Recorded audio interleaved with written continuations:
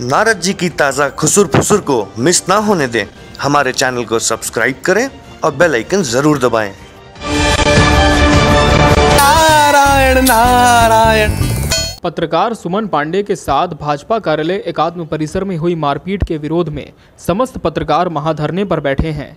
पत्रकारों की मांग है कि दोषियों पर कड़ी कार्यवाही की जाए अपराध करने के बावजूद आज दोषी आज़ाद घूम रहे हैं। वहीं महाधरने के चौथे दिन प्रेस क्लब के सामने हस्ताक्षर अभियान चलाया गया, जिसमें चौपाटी संघ, दिव्यांगजनों ने भी अपने हस्ताक्षर के ज़रिए पत्रकारों की मांगों को समर्थन दिया। इस अभियान में वरिष्ठ पत्रकारों से लेकर प्रिंट मीडिया, इलेक्ट्रॉनिक और डिजिटल मीडिया के भी सभी पत्रकार मौजूद रहे।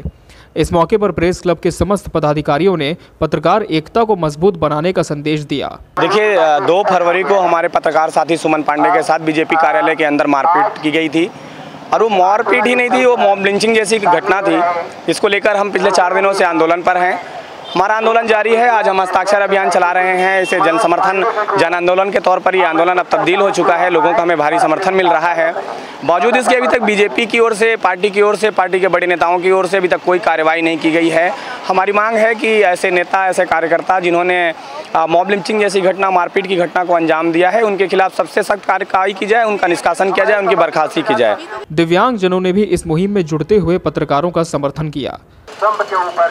पत्रकारों के साथ जो लगातार दुर्व्यवहार हो रहा है, उसके विरोध में हम पूरे छत्तीसगढ़ श्रवण बाधित दिव्यांग संघ आज उसका पुरजोर विरोध करते हैं कि इस प्रकार की जो समस्या सबने हम, हमारा बहुत सपोर्ट किया गया है पत्रकारों द्वारा और आज जब पत्रकारों के साथ ये व्यवहार हो रहा है तो हम उनके खिलाफ यहाँ पे खड़े हो रहे हैं ताकि उनका हमेशा सहयोग कर सके, क्योंकि उन्होंने हम हम लोग को अर्थ से शीर्ष तक पहुँचाया है। अब जब उनकी बारी है तो जब उनके साथ हो सकता है, हमारे साथ ये भी हो सकता है। इसीलिए आज हम सपोर्ट करने आए हैं।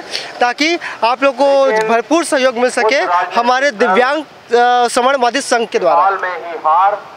गौरतलब है कि पत्रकारों ने यह साफ़ कर दिया है कि जब तक दोषियों पर कड़ी कार्रवाई नहीं की जाती उनका अनिश्चितकालीन धरना जारी रहेगा। अब देखना यह होगा कि इसके बाद बीजेपी की तरफ़ से दोषियों पर कड़ी कार्रवाई की जाती है या वो अपने निर्णय पर अडिग रहती है। खबरची न्यूज़ के लिए रायपुर से कैमरा पर्सन राकेश यादव के साथ अमित शर्मा की रिपोर्ट। नारायण